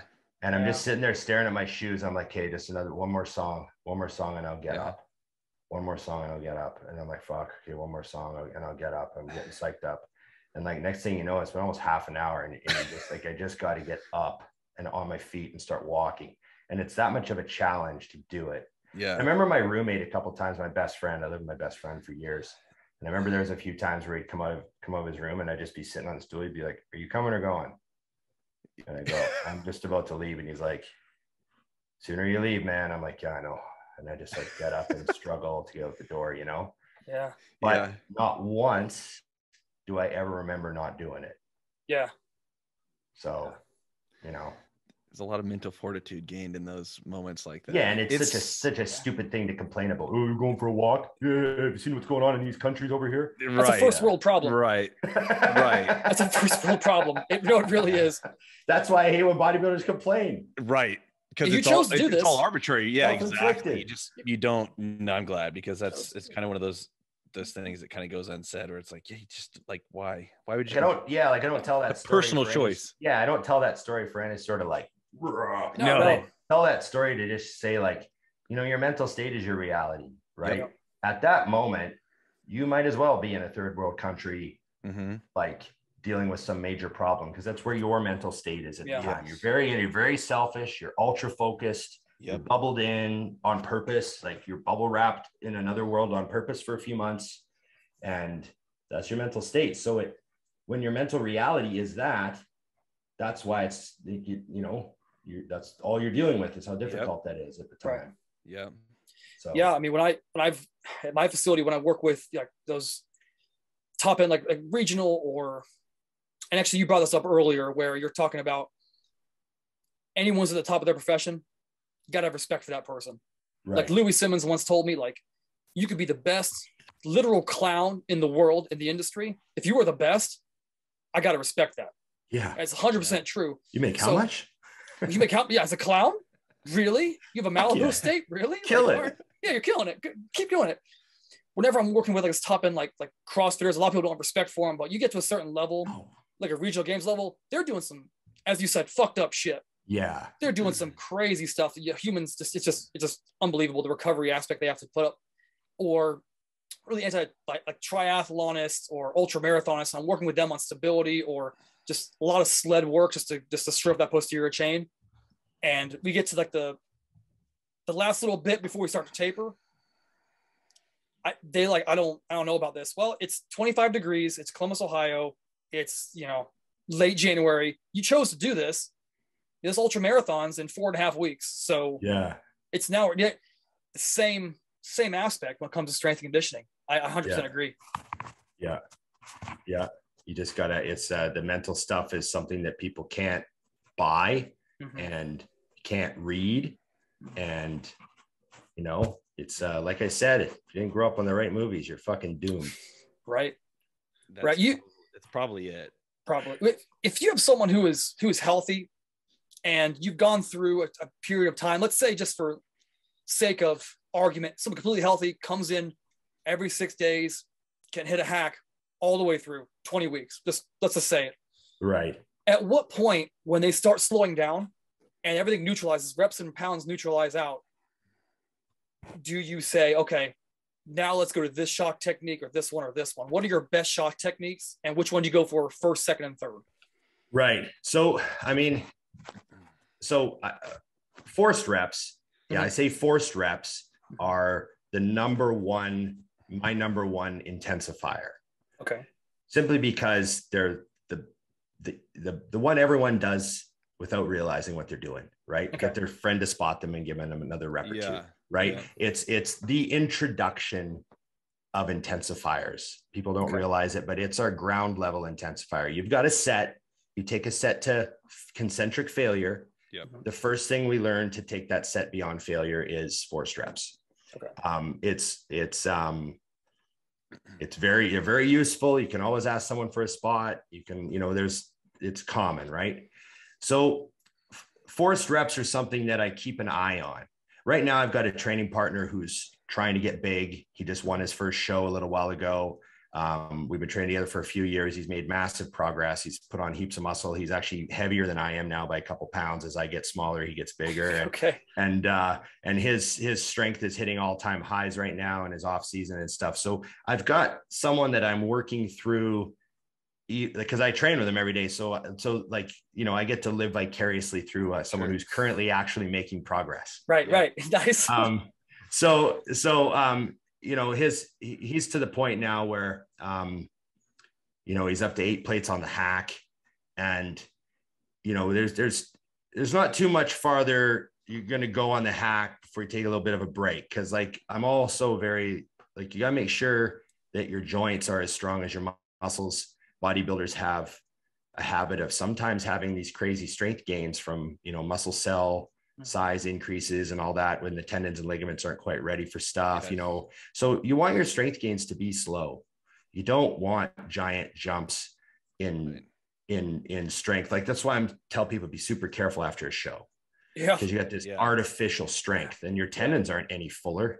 No. Right. you know your muscles just full of fucking carbs and just maximized and you're like oh four plates on the incline and something Right. in your shoulder just fucking explodes. I've Right. seen it dozens of times so um i'm all i'm not like i like you know some people add a plate to their hack squat real quick and they're like super excited. And i'm like ooh. Yeah. careful. Yeah. like you just put a plate on your hack in like four workouts okay? You're obviously something is really working. You're firing you're learning this exercise. Maybe your glutes are firing more. You've got a better stance. You're generating more power. That's awesome. But let's also be careful. So maybe for a few weeks we'll push we'll progress on reps only. Yeah like you know what i mean Yep. don't Oh, always absolutely. i don't always take the poundage right Yeah. sometimes i'm like you know what this is heavy enough weight instead of going for 10 reps with a heavier weight, let's go for 15 with the same weight. So I'm also like, I, I temper that in, which I didn't do Mhm. myself. Sure. Um, but I temper that in more now with with people where I try to get that concept through to them. Um, so it's not always about you know progression is can be reps too. Like you know my partner now he's doing like 20 to 30 rep sets on the leg press because we've got enough plates on there, man. Right. Oh yeah. And and and you know I'm not sure adding plates. I mean we've already been through a couple lower back injuries with him on the leg press. I'm not sure if adding more Mhm. plates is something we want to do real quick. So you know, you have to keep that in mind. A bodybuilder, I know we like to think that bodybuilders are like, you know, like Branch Warren, you know, Yeah, like right. Mack trucks, Yeah. Mack fucking trucks. Tell you fall off a horse, but that's not. Most Ooh. body, yeah, Yeah, on camera. Most bodybuilders aren't Mack trucks. Yeah. Most bodybuilders are like most of the pros should treat their bodies more like Ferraris Mhm. Yes. and less like Yeah. Mack trucks. Do you know what I mean? Yeah, oh, yeah. Run it hard Like- for run it hard on the track. You're a track car. Yeah. Run it hard on the track, and then Run hard on the track. put take- premium gas back in it and let her sit. You're a race Yep. car. Yeah you, yeah like you know what i mean that whole thing and and and um and most people can't handle the abuse of of certain types of training and most people don't grow from certain types of training Mhm. um if you look at training i'm not i'm not picking on branch they, those guys No, are no. fucking like, Oh, yeah. they're incredible they're Yeah. Oh, incredible yeah. also people think they train sloppier than they do i've trained with johnny a bunch of times they actually the only set that is loose with johnny is like his heavy set and Mm-hmm. the, you know and i actually understand the philosophy it's got to be that one set where you put some pressure on it that's what he always says right Yeah. You're right. and and it goes down to the mentality you know all his other sets before that are like really good reps most of them and you know all that stuff but if you look at what they're doing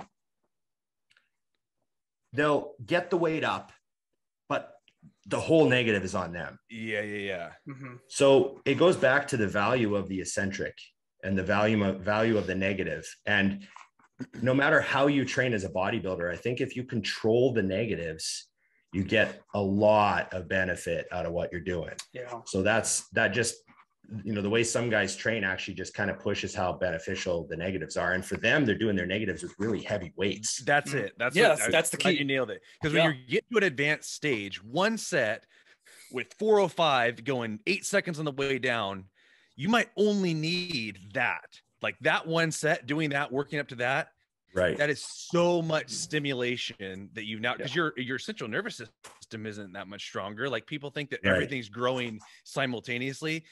That might be all the stimulation you need in yeah multiple areas too, because you really feel stuff firing when you're trying to stabilize a weight coming down.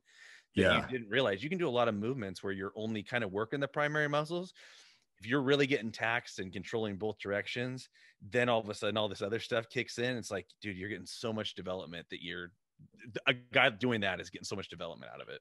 yeah yeah there's something to be said about certain exercises done a little loose Sure. you know Oh, and i see that i see them as just another version of that exercise like standing dumbbell laterals Mhm. Yeah. like i do them perfectly strict now but i see the value of heavy laterals like i did them for Oh, yeah. Years Mhm. like exploding up with tons of tension and then fighting the negative Yeah. you know like i mean it's rough on your shoulder joints for 20 years but there's a fuckload overload there and Sure. and so there's there's there's uh, you know i'm not the type of guy that like you got to train like this but i just think it's the principles you have to have a grasp on You have you know as long as you know what's going on like yeah. you know there's Yeah. you try to minimize risk absolutely that's why i'm a big believer in in you know primarily very controlled strict stuff Yeah. so yeah You know, it's funny you bring up the negatives. It, I, dust I know you know this gentleman, but Ron, have you ever heard of a guy named Chuck Vogelpohl? Mhm. Okay. yeah chuck with a flaming toque Oh yeah. yeah no I've, yeah I've, I've seen the west side versus the world documentary Okay. and uh and uh and meadows told me a whole bunch of chuck vogel stories Oh, I'm sure he's got some some great. yeah amazing amazing It's great. So he he wants to part a piece of knowledge when I was there, and it was your last. Typically, was deadlift because he was he was savage. I mean, everything Yeah. he did, but like you watch him deadlift is like the only reason he didn't deadlift more is because he kept punching walls and had like jacked up hands. yeah That's the only reason like it wasn't any bigger. However, he once said when you get on your max effort, your last single, I mean, your last single where it's just like, it's Westside Barbell Morning Crew, mm-hmm. savage to the death, and you Yeah. get to the top, get everything in place, and you milk that negative for everything it's worth. And when you put it down, you shouldn't hear a fucking thing because everyone trains concentric, you know, especially West Side, we use a lot of bands. So speed, you know, programming to go fast, controlling the isometric at the top, contracting the glutes. And when you go down, you just milk that thing because no one else is doing that. It is now giving you eccentric control strength. So when you're fighting a weight and you're starting to like gyrate out, your body is controlled. It will not let that bar dip, which is, you know, you won't get the lift at that point. Absolutely. And dude, I think I was the only one there that did that. And at my peak, I was like 168, 167 pounds, yeah. And I, I could pull with guys to a certain extent that were like 220, 240, because every time I did that, every every time. And That- Lou, would- Lou would enjoy, like, oh, watch this, here he goes. He's gonna control. Look at that. Yeah. Wait, a seven second negative Oh with no, 900 no, I'm talking like 15 hands. seconds. 15 second. Oh yeah. no, no, it so, was oh so this, oh. I see this all the time in bodybuilding. People think the set's over before it's over. Yeah. And so one common one is bent barbell rows. So you see guys do bent barbell rows and they'll be going along nice and strict, pulling the bar. And then you, you got that one where there's a little swing, right? And and I'm climbing. And then, and then, yeah. And then maybe they do one more with a little swing. And then as the bar is up against their belt, they stand up. yeah. And it's like this weird thing. And I'm like, w- w- that's like curling a dumbbell to the top and then grabbing it, putting it on the rack. Yeah. yeah. I'm like, you had it at your belt. You had an opportunity to resist that bar Right. all the way to the floor until it stretched your lats out. And then you could just suffer for a few seconds and then you put it down. Yeah. And you didn't do that. What are you thinking? Like, you had an opportunity to add a crazy negative to the end of that barbell row set and you Yeah. you threw it away. Yeah. And and I see people give those little moments up all the time and I think they matter. Yeah. Do you ever have anyone like Right. posterior chain wise, especially especially back musculature, when they're learning how to use their back? Whatever working weight they have, take the first one, get down to the bottom, get a contraction, and then control that that contraction out so they can actually feel it come back as opposed to starting at the top. Right. Yeah. The, learning how to train back. I, I find a lot of people do what we used to do. Like it was an old mistake that a lot of people did. I mean, we did it for way too long, but we arched our back way too much on our rowing movements and our pull downs, you know? Mhm. And you got a lot of muscle development out of the hard back training we did just because we were the effort was so high and Oh, you're right, yeah. overloading. And you know, you, you can Yeah. grow with any sort of movement if you just overload it Right. but efficiency wise, we weren't maximizing our back development. And now you see people training with a much more neutral spine. Mhm. They're getting much more stretch out of their lats. People think if they, they, you know, when your back is arched, your lat's not longer. Your Right. ba- lat gets longer as your back straightens, right? Yeah. So they're getting proper stretch, proper squeezes, proper activation. You know, when they, you know, the more you arch on a cable row, the more your traps take the weight out behind you, you know? Right. and and so they're sitting more flat back with almost their head forward a little bit and rowing more i have a lot of people do a lot of that stuff and i make them go down to light weights and i Right. i put them on like you know like the homemade t-bar Yep. but with Oh, like a yeah. straight but with like a straight handle Yeah. Yep. I put them on like the old the old school t-bar with a Mhm. straight handle where the and i'll use like the 25 pound plates Yeah. Yeah. They can get all the So they way in. Yeah. yeah, they can almost touch the floor and then they just pull it right up to their belt. And I'll try to teach them that movement with like control when they're opening their back and closing it and keeping their spine flat and they're not arching back like that. Yeah.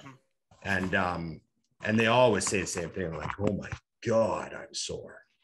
Like Yeah. my fucking back is so pumped. Like, you know, so but learning back is difficult. It's uh people think they know how to train back. It's like the number one worst body part for most people. Right.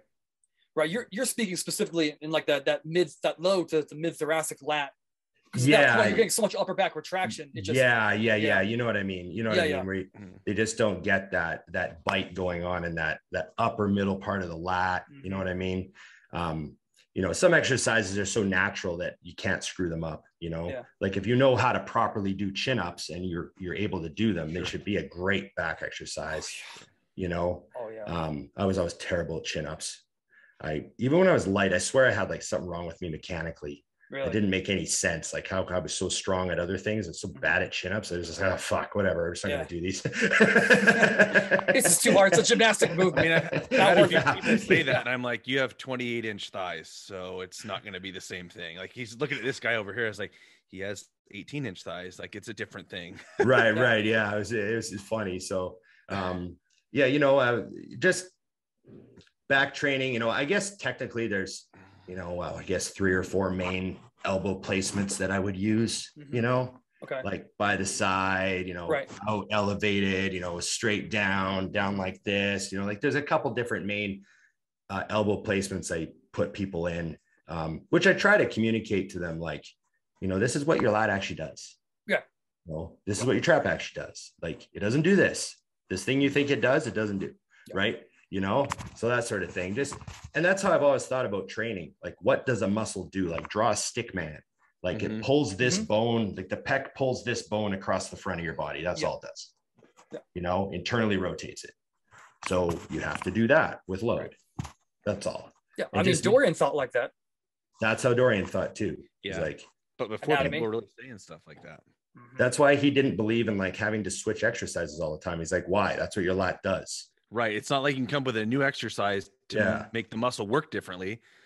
Yeah. Yeah. It, it seems weird. Yeah. When you say it like that, it's like, no, that's what people are trying to do. They think changing the movement is going to make the muscle work in a different plane of motion. It's like, it doesn't. No, it's the I'm same sorry. movement. Yeah. You can load know, it differently. You can get in a different machine, maybe, but the muscle function and where it's going, like you're not changing the connection point. You're not. Yeah. Like yeah. people, yeah. But if you don't know, you might think like, oh, now if I go to whatever, whatever movement, now it's gonna work my pec better. Is like, no, I mean, there's strength curve variations from machine to machine, Right. obviously, Mhm. but the function is the same. Yeah. mhm. Yeah, Yeah. it, I mean, did you ever? I remember hearing this in an interview with Jay Cutler that when he kind of did a small home gym, I think it was even pre-COVID. The first one of the first machines he bought was a Hammer High Row because that's the plane of the lat. It's like a 35, 45 degree pull down, Right. and he loves that machine. And I think that's why I think all the rage now is that cable like chest support high row. Right. And I've been doing that with people and myself forever. And you never touch a pull up or a chin up in their life, and they go to do it like six weeks later, and they PR it by five reps. Yeah, yeah, yeah. There's certain things that you know you. Uh, well, I talk about home gyms too, but if you know if you're doing a home gym, there's certain things for your body. Yeah, I know what you mean. Yeah. And and uh, I mean back is something. Back's one of those body parts. You know, if you're gonna have a home gym, it's gonna be mostly back and leg machines. Yes. No, because like Yeah. other things, you know, the dumbbell rack, you can do a lot of shoulders and chest, Right. and mm-hmm. you know. But if you're gonna have to put machines in a home gym, like, yeah, you need some back and leg stuff for sure. Yeah. 100 percent. You know. That's Yeah. it. keeping that that theme going when you're talking about keep saying neutral instead of like being hyper arched do Right. you ever do you ever key like when you go through a workout with someone bodybuilder physique however it's going to be and you're training them do you guys start with because like typically when i start with people doing their auxiliaries for bench or for gymnastics movements we always start with understanding how to hold a dead bug hold and then doing some type of banded oblique just because the obliques do tie in to a certain extent with the lower lat Right. do you start with anything in particular before you even get into a machine, or do you just like go right into it? Let's just feel it out. Yeah, I typically just warm up in the first exercise really, really well. Like Okay. I take quite an extensive, like I think there's a lot of reps in that first exercise. Also, just stretching out the first exercise. Like let's say you're doing back, you know, I'm not just doing a set, standing there doing a set. It's like doing a set, opening up, and not stretching like I'm trying to stretch Right. the lats, but moving your body around, Yeah. like you know, like Full touch your range of motion. toes and like shoulder rotations like get moving like are, can you move right now because like Yeah. i mean there's there's times where i'm like halfway through my day and i go to pick something up off the ground i'm like holy fuck i'm stiff Yeah. and you think Yeah. how did you get halfway through your day without realizing how stiff you were like that's how well unfrequently we do certain things you know Yeah. Right. so just make sure like first action first exercise i try to just get the body moving really well i might do other stuff like go grab some light dumbbells and do a bunch of stuff you Mhm. know, but I'm not like a strategical warm up guy. But with back, back's one of those body parts, probably more so than anything, where the first movement is not something I'm primarily focusing on overloading at all. It's, it's, if I do kind of think about maximizing pump, blood flow, connection. And that's just because when your lats are super pumped, it's just so much easier, to train them. Yeah. You know what I mean? One of my, my my favorite opening exercise for back is a neutral grip, shoulder width pull downs with the elbows by the sides Yeah. Mhm. With a pretty neutral spine. Like you're gonna arch a little bit, you know, Yeah. but but it's like a real good quality protein or uh, pull down. Know what you're doing. Yeah. And supersetted with rope pullovers, like rope pull downs. Okay. Um, you know, just a, a simple superset for the lats just to maximize the pump. Yeah. And uh, and I mean, once your lats are completely engorged and blown up, and you go to like dumbbell rows or something. Oh, you feel it. Mind muscle connection just right Yeah. there instant. Yeah, and I think that's important, especially with back. A lot of people are bad with connection, and you can't see it in the mirror, so they can't get those cues. And you know, a lot of people just have a hard time. So I, I'd say in that case, it's, it's totally worth giving up the, you know, the, the the, Yeah. you know, starting with barbell straight. rows. Right, right, right. Right, Yeah, right. Start with your straight movement. Yeah. Plus, for back, you're like back's another thing. Making true progress on your rowing movements, you got to be very patient with yourself because people can easily add some reps just by being sloppier, Yeah, and then right. your notebook's all fucked up, and your Right. you know your whole progression is just nonsense. It's not real, and Right. Mhm. so you have to be very very patient. People train back too heavy, I think, for the most part.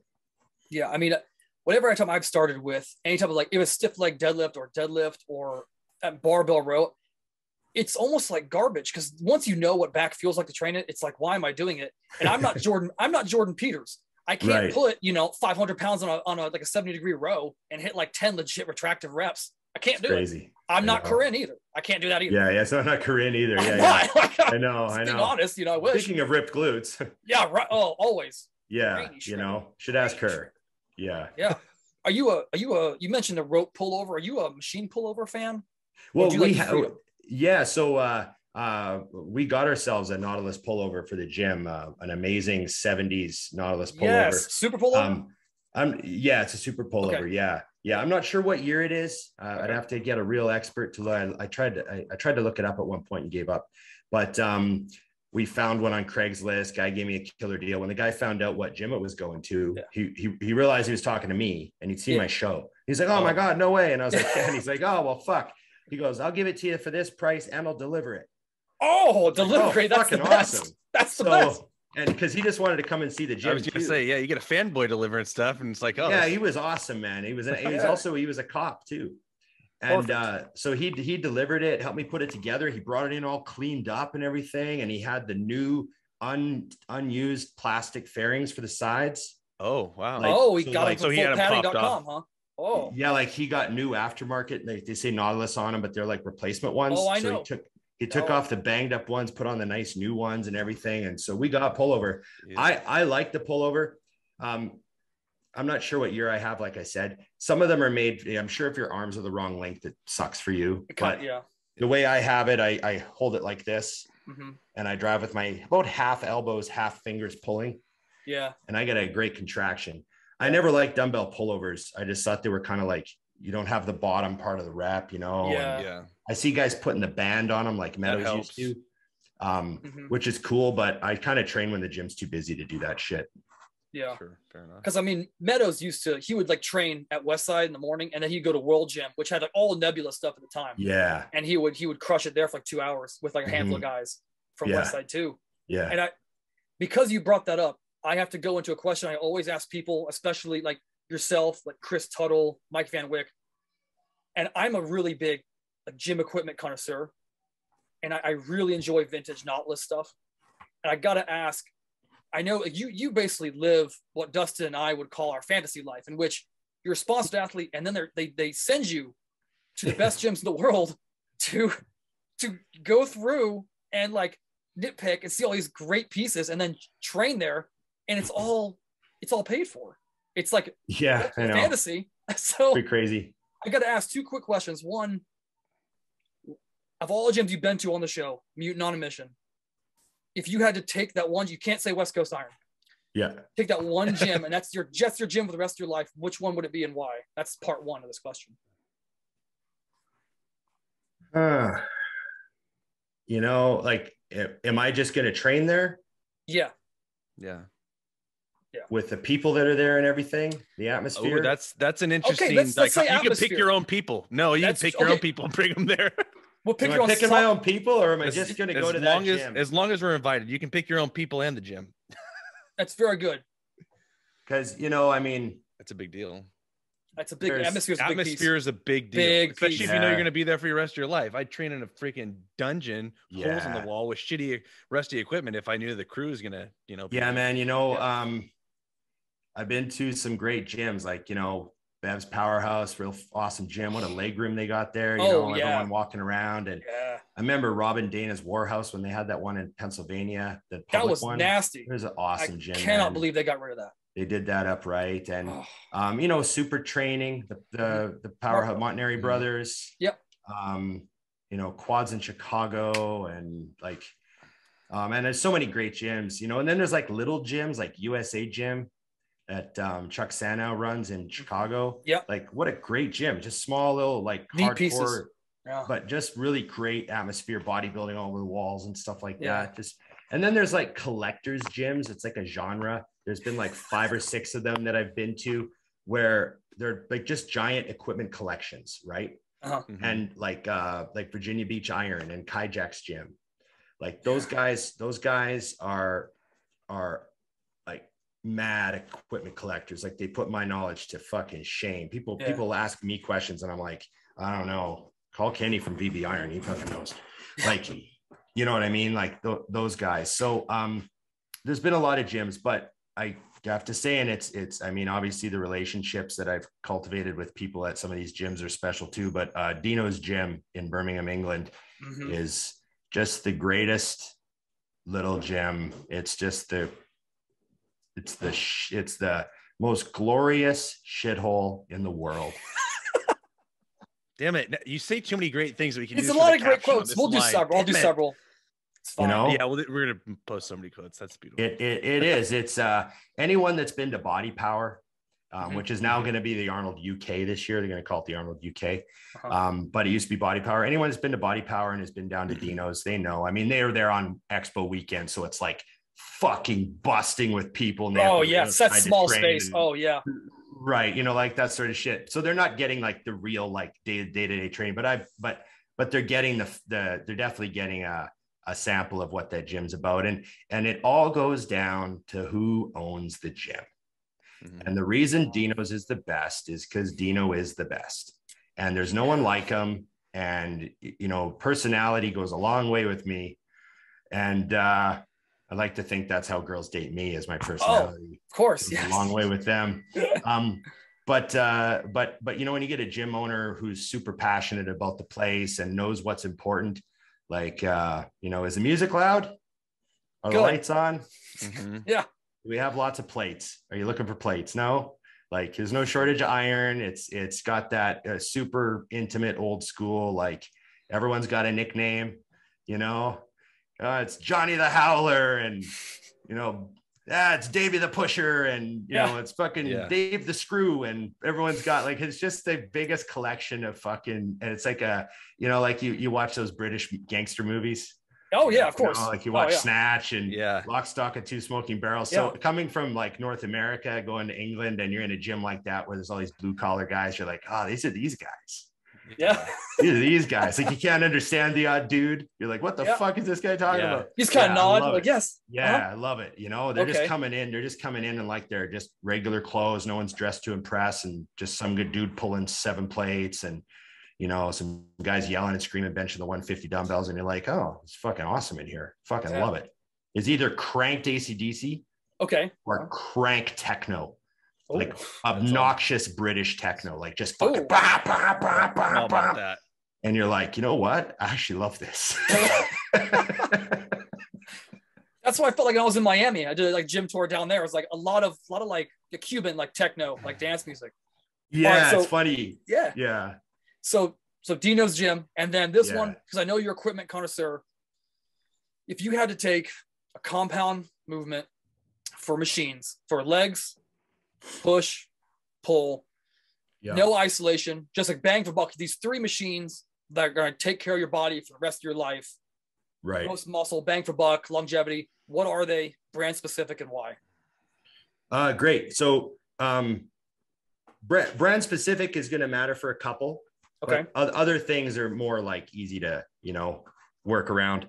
Um, Okay. you know, you're gonna need a hack squat. Um, there's lots of good ones. I like an adjustable foot platform. You know what I mean? Mhm. Um, however, Cybex's has the best uh, footprint. Yeah. Um, so if you're in a garage gym or something, you you want to get Cybex. A lot of Cybex equipment has a small footprint. It's fantastic for setting up your own gym. So I'm very very much in favor of some of their stuff. Um, you know, for shoulders, the Atlantis plate loaded upright shoulder, like we're just sitting pressing up, and you can load the plates kind of down by your knee. Okay. Atlantis's shoulder press is awesome. I haven't tried everything in the world, but man, they make a good one. I've heard that And as well. It's yeah. got the two different handles on it. Like the Yeah, one set of handles are kind of 45 degree and then the Yeah. one set of handles. So it's like very comfortable for me. Um, also, uh, you would need a chest press, plate loaded chest press. Nautilus's plate loaded one. the That one you're sit- the XPLOAD line. Oh, And Atlantis makes a couple. They make the lying one and the seated one that are incredible. You'd need one of those. And um, for back, we have a Panatta low row. oh, you, That- Dustin, you love Panatta. Oh, okay. We have a right. Panatta low row. We got it. My my my partner really wanted it, and we got a deal on it. I'm like, oh yeah, let's bring it in. You know, If you can, I'm Yeah, like, "Hey, if I'll- you can find never one tried it. that's that's used, then yeah. I, Um, in, in, yeah, yeah. So we got a new Panatta low row because he got a deal. Uh, we knew some guys who were buying a bunch of stuff, so we hopped in and got a discount. So we got a Panatta low row, and I fucking love it. And it's super hard. Like three plates on it is like holy shit. Like you know, other rows you got five, six plates on them, but Yeah. like the, Right. the fucking yeah, the Panatta one's awesome. Um, you know, you're gonna need a leg curl. You know, any good lying leg curl would do a Cybex or something. You don't have to be that specific with that. I guess if you want to get a prime one, then you got some options. Then you can Yeah. fuck with a strength curve. Yeah. Right. Um, so yeah, you know, I mean, it's uh the, the real basics. Um, you're not gonna, you know, I guess that's hams, quads, shoulders, chest, back. Yeah, it's kind of everything you're gonna need. You got it. you know. Yeah. But that's a good start of a garage gym, man. Oh, that'd be a great garage gym. I'd go there. Do you, is that Panatta low row is hard enough to a point of if I'm sure you've used one of the like the original, not top loaded, side loaded hammer mid rows. That one to me is significantly harder than like the new age with the four handles. Yeah. Yeah. is it yeah. Yeah. approximately the same type of strength curve we're talking about? Um, well, that would be a mid row. Yeah. You know how with the hammer mid row, the old one, if you lean back, it actually gets lighter. Right. So the Panatta one, like I lean into it with my chest on the pad. It's fucking hard. Yeah. If you lean back, there's like that little easy hitch at the back. You know what I mean? So you got to Right. lean into the pad. But yeah, it's got a real good, like steady feel, you know, smooth. Okay. Okay. So I mean, we've we've had you on for you know um, coming up on two hours. Really appreciate your time. I know Oh yeah, no problem. you're incredibly busy, man. Yeah. We down the road, we got to have you on again Sure. to dig deeper into into this Okay. conversation, especially when it comes to just progressive overload auxiliaries for specific lifts. and I and I'll I'll make sure I finish the ninth season of Curb. Oh, please, by the yes, please do because the 10th I season, I, I it want your either, so opinion. I got to finish it too. We can just Okay. we can just See? completely go Right. down that rabbit hole. Right. Right. right back to the start. I There you love go. it. Back to the I love start. it. All right, man. We'll, we'll we'll cut the recording. I'll get some stuff from you, and we'll get out of here. Okay. Thanks, guys. Absolutely. All right, You know, bye. thank you for coming on.